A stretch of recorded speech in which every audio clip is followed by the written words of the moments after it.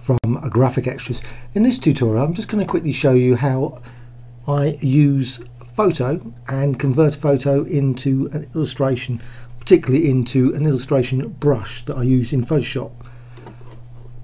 Basically I've imported this design in using the place command and once I've done that actually first thing to do I go to the effect artistic and poster edges I'm just gonna and that quickly creates an edge around the design. You can actually see the the edge reduces the color down as well and click OK.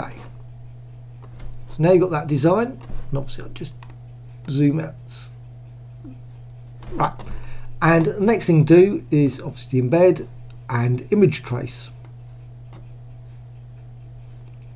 now if you don't actually do the poster edge I always find that the actual imported image just doesn't really look as nice. It actually, because there's just too much for the image trace to work with. I find that uh, the image trace, for me anyway, maybe not for everyone, but it works a little bit better for creating illustrations. And I'm just going to go down now, threshold. And you obviously at the moment you've got a silhouette there.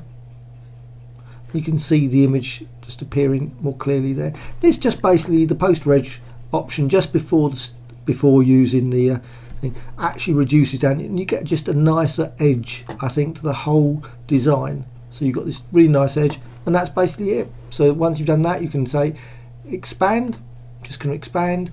And I just then I go to image ungroup. And you'll notice there's this what's the name? Obviously you could get rid of that by using the white option over here. There's an option here. Ignore white. Sometimes I remember to do that sometimes I don't. So now I can do object, select, same fill and stroke, and that removes, I'm just going to do that, removes, and there you have it. Very, very quick and simple way of creating illustration design that can of course be used in Photoshop for like Photoshop my Photoshop brushes and things that I've created. And obviously a nice clean vector design as well. Well, hope you found this tutorial of interest. See you soon.